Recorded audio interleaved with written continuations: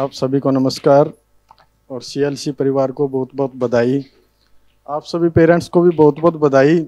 आपके बच्चे कामयाब हुए। जैसा कि सरवण जी ने बताया, मैं इस बच्चे का मामा हूँ और इस बच्चे की पढ़ाई की जिम्मेवारी मेरे ऊपर ही थी। जब इसने प्लस टू कर ली थी प्लस टू इसने मेरे पास से की मैं भी अध्यापक हूँ। मैंने कोटा में भी विज़िट किया। मैंने दोनों जगह का माहौल देखा। तीसरी जगह ये थी, जब मैं यहाँ आया तो मैंने देखा भी बॉस है ना यहाँ बैठ के खुद मेहनत कर रहे हैं, वहाँ बाहर गैलरी के अंदर जब एडमिशन चल रहे थे।